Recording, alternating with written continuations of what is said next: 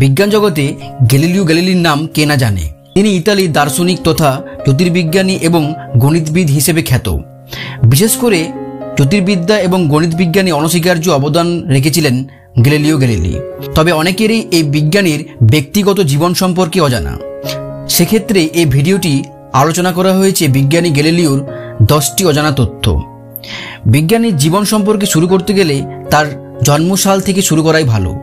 উনিশশো চৌষট্টি সালের পনেরোই ফেব্রুয়ারি ইতালির পিসাই শহরে জন্মগ্রহণ করেন গ্যালিলিও গ্যালিলি এরপরেই শৈশব ও কিশোর বয়সে তিনি মেডিসিনের বিষয় নিয়ে পড়াশোনা শুরু করেন। তবে বিশ্ববিদ্যালয়ে যাওয়ার পর গণিত এবং জ্যোতির্বিজ্ঞানের দিকে আকৃষ্ট হয়েছিলেন এই বিজ্ঞানী। তার আবিষ্কৃত একাধিক জিনিসের মধ্যে সবচেয়ে উল্লেখযোগ্য ছিল টেলিস্কোপ দিয়ে আবিষ্কার করা বস্তুটি।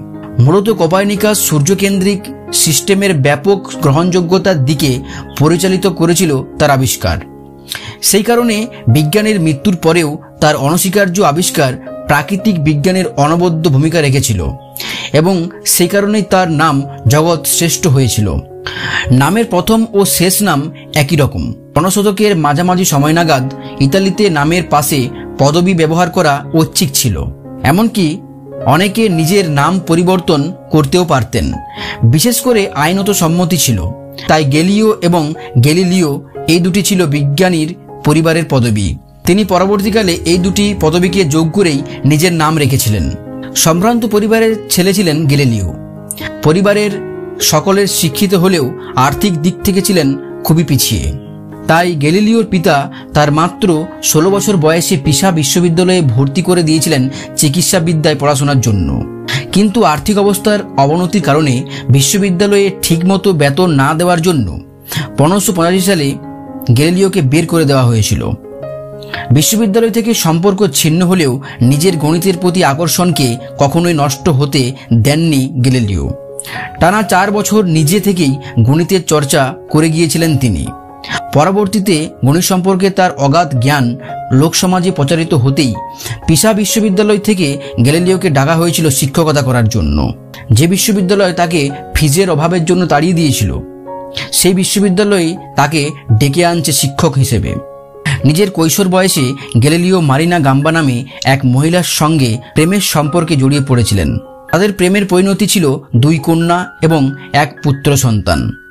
তবে সেই সময় গ্যালিলিও ছিল পণ্ডিত, আর তখনকার দিনে মানা হতো পণ্ডিতরা বিবাহ সম্পর্ক থেকে দূরে থাকেন। এমনকি গ্যালিলিও মনে করতেন যে তিনি মারিনা গাম্বাকে বিয়ে করলে সেটা সমাজবিরোধী কাজ হবে।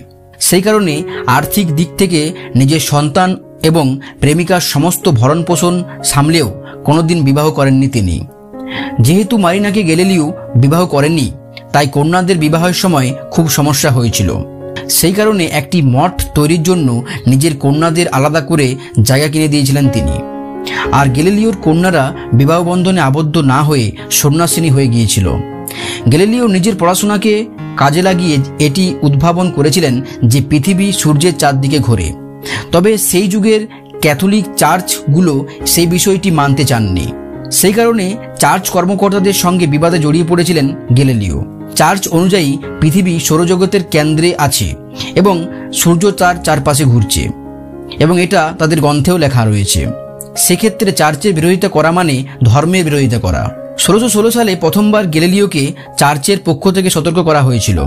এমনকি ষোলোশো তেত্রিশ সালে দ্বিতীয়বারের জন্য তাকে সতর্ক করা হয়। তবে নিজের সিদ্ধান্তে অটল ছিলেন গ্যালিলিও। যার কারণে একবার গ্যালিলিওকে চার্চের সভাকক্ষে ডেকে কারারুদ্ধ করার শাস্তি দেওয়া হয়েছিল। তবে গ্যালিলিও নিজের কিছু প্রভাবশালী বন্ধুদের জন্য কারারুদ্ধ এবং দণ্ড পাওয়া থেকে নিস্তার পেয়েছিলেন। তবে পরবর্তীকালে গ্যালিলিওর বাণী সত্য প্রমাণিত হলে পরবর্তীকালে চার্চের পক্ষ থেকে আনুষ্ঠানিকভাবে গ্যালিলিওর কাছে ক্ষমা চাওয়া হয়েছিল। তবে গ্যালিলিও নিজের শেষ জীবনে চার্চের নির্দেশেই ঘরবন্দিভাবেই কাটিয়েছিলেন।